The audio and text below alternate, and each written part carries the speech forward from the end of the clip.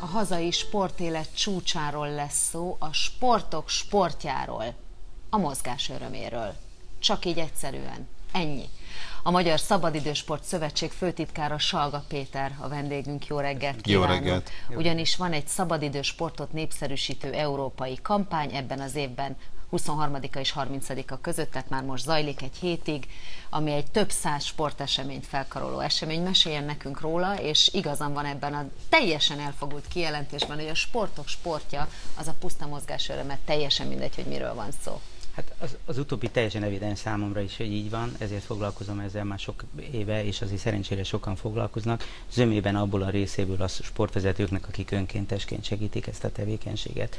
Az Európai Bizottság 2015-ben eh, végre kitalált valami sportrendezvényt, aminek hát borzasztóan örültünk, mind a 28 tagállamban egyidejűleg szeptember végén, idén 23-a és 30-a között valóban lesz az Európai Sporthét, és ez zajlik már múlt hétvége óta, folyamatosan Magyarországon.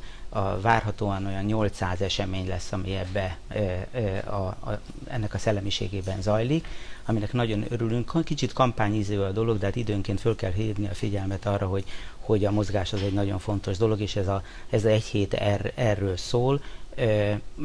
Mindez persze az, abban a formában, hogy, hogy nem versenysport, hanem itt mhm. önkéntesen, és másik nagyon fontos szempont, hogy az Unió kimondta, hogy ezek mind ingyenes rendezvények kellenek, hogy legyenek.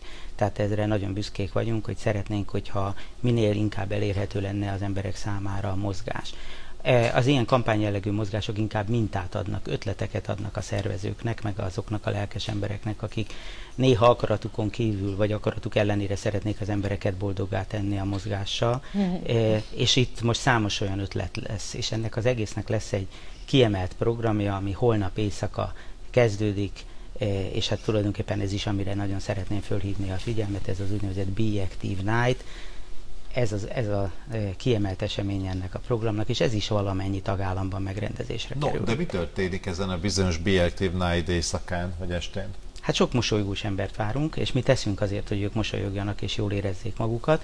E, sajátos módon megpróbálunk három évszakot összehozni, az őszt, mert hogy most már ott, ott járunk lassan, egy kicsit a nyárutót és egy kicsit a telet, ezért olyan helyszínt választottunk, ahol van jég, lehet korcsolyázni, lehet e, körlingezni, e, e, hokizni, ki lehet próbálni a jégkorongozást, lesz úszodai program, ahol strandolni lehet, hát nem, nap, nem napozásra gondolunk, hanem vízisportokra elsősorban, stand-up joga a uh-huh. Tehát búvárkodás, ki lehet próbálni a vízilabdázást, ami az átlag emberek számára azért nagyon talányos dolog, nagyon kevesen és keveseknek jut az osztály részül, hogy ezt megpróbálhassák. Most megtehetik, és a szabad téren pedig hát ilyen hagyományos őszi. Jó, de ez mondjuk a helyszínt is a tüskecsarnok és környéke, az uszoda, a jégpálya és a környezet, közvetlen környezete várja holnap hmm. este 7 órától hajnali 1 óráig a sportolni vágyó hölgyeket, urakat, fiatalokat és időseket. Mindenkit egyforma nagy örömmel és szeretettel várunk. Említette a fiatalokat, mennyire elérhetőek a szabadidősportok a kisiskolások, iskolások számára? A legtöbb szülő, akit ismerek, nagyon sokat panaszkodik arra, hogy igazi szenvedés a versenysportba kényszerülés az egyesületek finanszírozása finanszírozási és támogatási rendszere miatt a gyerekek számára, amikor csak sportolni szeretne a gyerek, vagy teljesen kimarad, szó szerint selejt lesz, mert kiselejtezik, vagy pedig versenyeznie kell, amit maga sem akar, és a család sem heti ötszöri edzéssel. Pedig csak sportoltatni szeretnék, ahogyan ön fogalmazott, a mozgás örömére nevelni. Hát úgy születik mindenki, hogy szeret mozogni, izeg mozog egy újszülött minden része, és az iskolában nagy gonddal leszoktatják őket a mozgásról, ami ellen borzasztóan nehéz küzdeni, mert hát rengeteg kötelező tanóra van, és, és utána szeretnénk mi ezeket az embereket visszaszoktatni a mozgásra. E, egyszerűbb lenne, hogyha folyamatosan hagynánk e, mozogni, hagynánk időt, teret és energiát a, a, a fiataloknak, hogy sportoljanak. Valóban nagy kihívás a számunkra, egy, egyrészt természetesen nagyon büszkék vagyunk arra, hogy a tehetségeink azok a nemzetközi porondon sikereket érnek el és hoznak Magyarország számára.